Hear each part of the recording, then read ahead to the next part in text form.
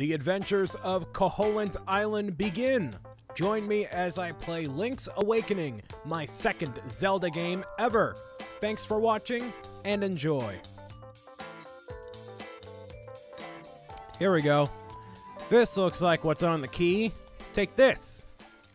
And unlock for me the magic that lies in store. Now this, I think is going to be our first actual dungeon of the game. So, because it... Ding. Ooh, that's a pretty cool uh, sound effect for that. That always, that, that dungeony sound, that unlocking something sound.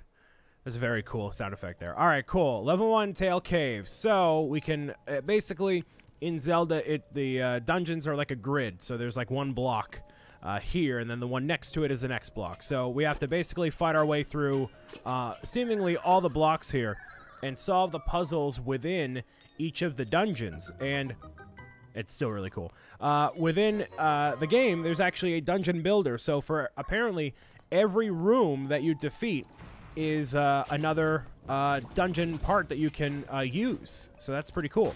And I'll take whatever this is. It's a compass. Cool. Now you can see where the chests and nightmares are hidden. Nice. The compass has a new feature. A tone will tell you if a key is nearby. Well, that is definitely helpful. I don't know how you could go through the entire game not having that, but there you go. I'm assuming you could miss objects like that, but, you know, might as well explore all the rooms as much as I can here. So there is something in here. So that's good to know as well. Uh, so also, if you're looking for differences between uh, this game and the original, uh, unfortunately, I have absolutely no idea what the original was like at all. Uh, I know it was in 2D, kind of similar to this, but it was a lot more pixelated because obviously, like back in the day, uh, 1993, that's to happen. Uh, these are Skelebros. Uh, can I actually defeat them? Yes, I can. Okay, cool. That is a Guardian Acorn. It will reduce the damage you take by half. Oh, nice. That's pretty cool. And that's another power thing there, too. Sweet. So I'm just all stacked up on power here. So do they stack together? Uh, it doesn't seem like it. So it's either one or the other. Ooh, and I have a map. Cool. So is that a map of this dungeon? Yes, it is. Cool. So we can see we can go to the left, uh, up to the left, and all through this way too. There's probably a hidden way to get through here at some point. Usually it involves like a bomb or something. You bomb a specific wall and you get through here. Um, but yeah, cool. So what we can do is, uh, oh, it shows you where the treasure is too. Nice. So uh, I'll try to explore as many of the rooms as possible. Uh, if they are beneficial in some way. And, uh, you know, if it's on our way to do stuff, if it's just a bunch of rooms, you know, then I'll, I'm going to try to just do it as quickly as I can here. But they're running from me, so that was tough to actually do. But hey, at least we have the map, so that's good. You're a caterpillar. Hi, caterpillar. Bye, caterpillar. And that looks like a saw blade. Oh, that's a saw blade of death. Okay, cool. Don't want to mess with him. That's for sure. All right, and get over here. Come on, get, get, get. There we go. Cool. Ooh, and it seems like he kind of follows me. Interesting. All right, so let me go over here, grab... Ooh, two chests. Nice. So I'll grab this. Oh, there's one. Da -da -ding. I'll grab you first. And don't hit me, please. I have so many keys. I have all the keys, actually. Well, not all the keys. Most of the keys, I should say. It seems like at least. There's some rupees. You got 20 rupees. Joy. Now, what can I use them for that isn't integral to the story? I have no idea. So we'll we'll figure everything out, obviously, as time goes on here. So, uh, Skelebro, get out of here. Get, get, get. Are you jumping over my sword attack? Really? That's nice. Okay. So there's one key used up right there. Um, I don't. I'm assuming there are the appropriate amount of keys for uh, what we need to accomplish in the dungeon. So I'm to go head up toward the top and use one up there. You know, they're not going to give you uh, not enough keys for the dungeon. They're going to give you the appropriate amount, right? That, that wouldn't make any sense if they didn't. So, let's see what this is all about here. I'll avoid these fire things for sure. No, get off of me. Get off. Oh, they just limit my mobility. They don't actually hurt me at all, so that's good. And I guess I'll use another key over here. No, I don't. Okay. Hi, owl. Um, the beakless statue is saying something. You can't make it out. Okay, so I don't understand beakless owl. Uh, sure. Oh, I need a beak. Uh, okay. because he's beakless, and owls should not be beakless. So uh, I will find the beak and come back here at some point. So I'll make my way back toward the lower section and figure it out from there. Okay, that kind of hurt. Let's uh, do this. There's nothing special up here for right now, at least. Uh, this is the story of a girl who cried a river and drowned the whole world. All right, I'll go, I guess, back down toward this way. You know, I, I don't know. Like, it's a, I know this game is fairly lengthy, you know, if you make it out to be. Um, it can be very, like, there's lots of secrets and stuff to explore as well, and I'm about to die. So that's not good. Oh! Wait, hold on. Uh, I'm going to try to mark off all of them as the same, right? There we go. Did I do a thing? I'm assuming I did a thing. I would have taken hearts, though. A heart would have been nice. Oh, a beak! Now you find an owl statue to fit into. So I could go back to the other statue, but there's also one right here. So turn aside the spined ones with a shield. What? Turn aside the spined ones with a shield. The spined ones? Who are the spined ones? What does that mean? Can I go down here? No. Okay. Well, I'm going to die, so I need to not have that happen. Right? Nah, that did happen. Okay, great. What do you have to say? If there is a door that you can't open, move a square block. Okay. Ooh. Okay. Okay. Sure. Oh, turn over the spiny ones with a shield. Ah, there we go. That's what I need to do. Fall into the hole. There you go. That worked out very nicely. Ooh, it's stairs. Cool. What do you have? Turn aside the spine ones with a shield. Yeah, okay, cool. So now that we have the beak, it seems like we can input it anywhere. Oh, those are Goomba. That's cool. And I got hit by one instantly. Awesome. Oh, this is a thing. Link can't jump. He can't jump in this game. There's no jump button. You know, in, in case you didn't know that, that is actually the main reason why I never got into Zelda way in the first place, was because on the Nintendo 64, Mario could jump and move around and do whatever he needed to do, whereas Link, he could not do that. How do I get that? Sir? Sir? Magic. No, magic doesn't work. Okay, cool. Gonna just dodge that real quick and get this. That should be everything I need. I have a feather. Roc's feather. It feels like your body is a lot lighter. Cool. Well, I don't know what that uh, is for, but I know that I can go... Can I jump now? Magic. No. Okay. Uh, oh. X. X. I can jump now. Haha, there we go. Nice. That is so freeing. It feels so good, and I'm facing the wall, technically. Nice. Oh, man. That feels so good. That Yeah, that's why I never got into Zelda, because I could always jump around with Mario, but I thought it was dumb that you couldn't jump around with, uh, with Link. So now I can just jump around all everything, and it, it feels... Oh, it feels good. It feels real good, man. All right. Let's get out of this dungeon. We're going to get back to uh, where we were before. So I feel like there's going to be a lot of uh, small edits here to make things be a little bit quicker overall. But, uh, you know, we made it out of here in a timely manner anyway. So now, any of those uh, blocks that have a one jump, you know, restriction or one, uh, you know, block gap, this stuff right here, yeah, now we can just jump all over it. That's perfect. So now I'm not going to use magic as often because I'm assuming that's a finite resource. So I don't want to uh, don't want to mess with that at all. Now I can just jump over here, so that's good. Um, I needed to go south, right? I think that's my next location. So I'll try going south this way here. And I'm assuming there's other uh, locations I can go to eventually that I can't right now because, well, I don't have the proper items and whatnot to do so. But that's just merely a guess, and I still don't know what you are, and I want to destroy you. There we go. I'll take that heart. I'll destroy you, too. There we go. That's a rupee. Nice. Oh, you're a monkey. Ukiki. Ukiki. Oh, you're going to try to destroy me. Okay, cool. Uh, let's not have that. What's inside house number one? It is a alligator. Hi, alligator. Sale. Sale. Welcome to Sale's House of Bananas. I'm Sale. This is my house. Actually, my hobby is collecting rare and unusual canned food. My brother is an artist, so I guess strange hobbies run in the family. Well, if I find any uh, canned food, I will be sure to donate that to the food pantry. But otherwise, I'm going to move on and jump all around because it feels just that good. Oh, yeah. I don't know why it feels so satisfying. It just does, you know? And I guess I can't jump over this log right here, so whatever. But this is the extent of uh, where I can go, at least down on the shore here. So where am I technically? All right. Ooh, so much has been unlocked down here. All right. So almost half the map. Or this is like um, two-fifths of the map, maybe. Yeah, about two-fifths. All right. So the witch's hut is up here. We kind of went up here before.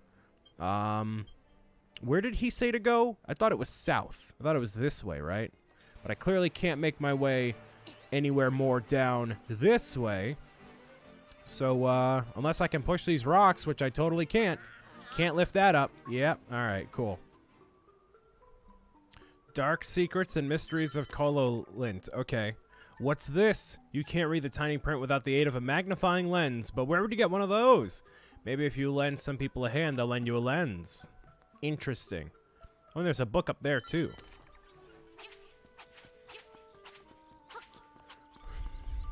So this is apparently a pretty cool little area here. This is a claw machine, or trendy game, I should say. Trendy game, one play, 10 rupees. Well, as much as I am not good at claw machines because they're all rigged, I'll uh, do my best. I could go for a uh, a shield. I could go for another magic bag of goodies. Oh, they uh, they they do what?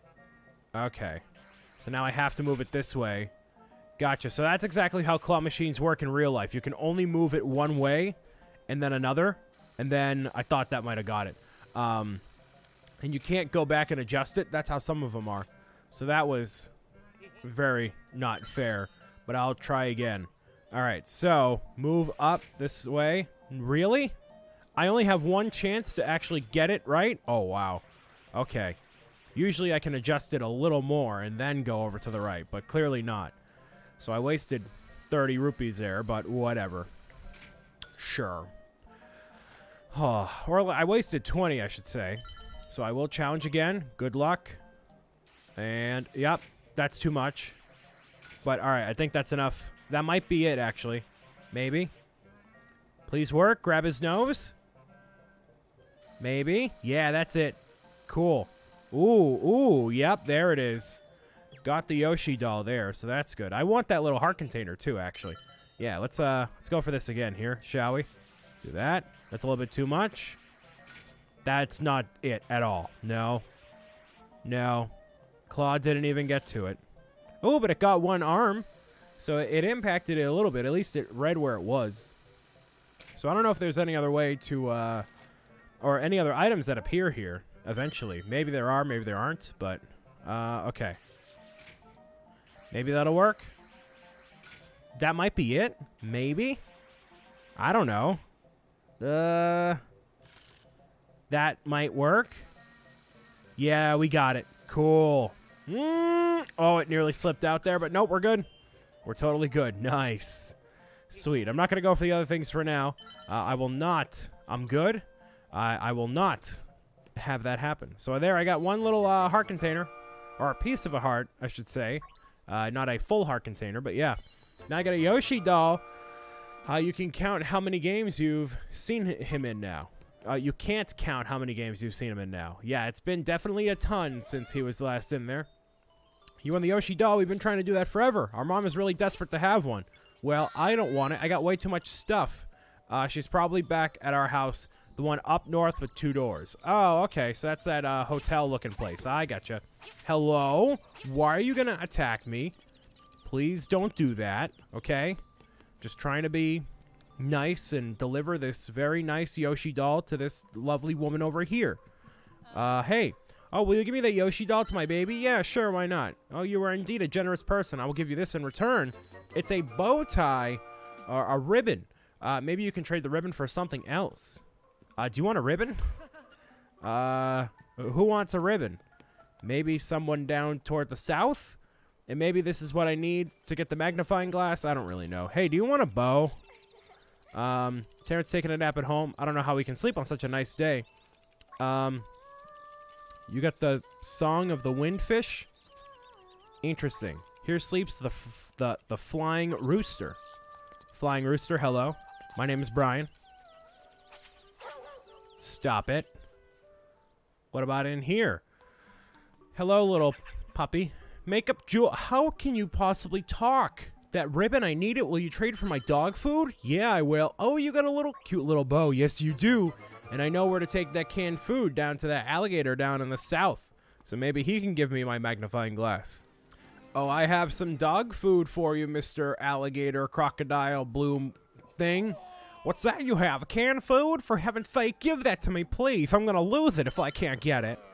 Well, there you go. You can eat that as much as you want to, man. Uh, what are you gonna give me in return? You ate the whole can? That's like eating a whole can of tuna. I can feel the metal hitting my teeth right now. That's disgusting. Oh, that was great. I know it's not a fair trade, but here's some bananas. Oh, who wanted bananas? Oh, somebody wanted bananas. That that where the monkey was before? Yeah, that that thing. Yeah, he wanted bananas, so I'll give him the bananas. Why are there so many missions? There's so many like weird little like give this person bananas, give the to do that, and do this thing. All right. Oh, that's a thing. Okay. I didn't know I could do that. Is this where I need to go up here? Can I unlock this? I can. So, this is what I mean. There's, like, other stuff to, like, do and... Okay, so that's a nightmare key. The nightmare key allows me to go into the nightmare's lair. So I didn't technically finish this dungeon. And then I, I tried to do a side quest, technically. I, I think that's what I was doing. And I just forgot all about the dungeon. So I guess my mind just doesn't work that way where, like, I remember, like, okay, oh, I have to go back and do this whole entire dungeon all over again, pretty much. Like, I don't know. Like, we'll see. So now at least I can skip over there, and that looks like a boss. You look disgusting, actually. You look awful. All right, well, I mean, now I can jump, so that's good. Um, that kind of protects me a little bit here. And try to do that. There we go. Nice. Just going to keep on swiping here as if it were an online dating app. Swipity swipe, swipe, swipe. And is that it? That's it? Okay, cool. Well, that's a little golden... What does the golden thing do? What does that do? Does that tele that teleports me? To the beginning of the thing? Okay. But at least I can teleport back. That's good. I don't know what that golden thing was, but I don't know if I needed it or... I, I don't know.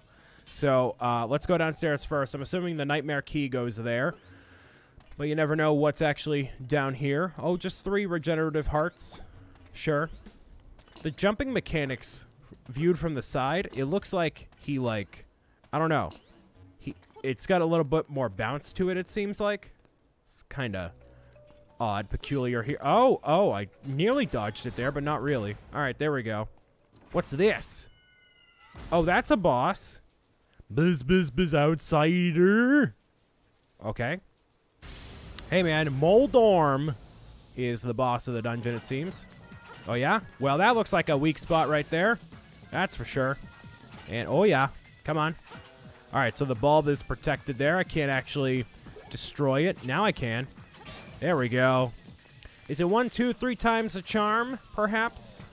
As it were in other games of a similar development cycle? No. Okay, so now he's aggro. Now he's actually mad. Now he is not happy, and I'm dead. So I was just being very uh, careless there. Oops. Well, that's a game over screen. So I'll actually show it there. So I will uh, retry that. And, uh, yeah. And that's it. It was literally one more shot and I kept dying. Or I fell down once and it actually leads to that stairs part we were at before where you get the hearts. So that is a heart container. That is an actual heart container. So now we get a full other heart here and it increased. Now, does it actually heal us here too? Yes, it does. Good. So, I don't know how many hearts are maximum in the game and that's a violin, right? Looks like a violin. I got the full a cello. Oh, that goes to show how uncultured I am. I have the full moon cello. Well, that's good. Sweet. I can play the song of my people. Poker Face by Lady Gaga. Get in my, get in my, how you can read my poker face. Why is it a Western rendition? Who knows? And the screen is white. Swamp.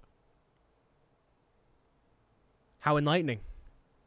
A path opens in the blooms. A path. Okay, I thought it said something different. Okay. Well, uh, the swamp is where we're going next, so I'm going to end this off here. I want to thank you guys and girls for listening, watching, tuning in, and meowing it out with me as always. My name has been Brian Saviano, aka Bricks 'O' Brian. I'll see you again for more Link's Awakening very soon. And, uh, yeah, peace out. Bye.